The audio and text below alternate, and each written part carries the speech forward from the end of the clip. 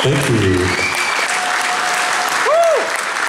That is the Sky, a piece of ours, and we're going to end our set with a piece, not quite of King Crimson, this is a composition of Robert Fripp um, from his album from a long time ago called Exposure. This is called Breathless.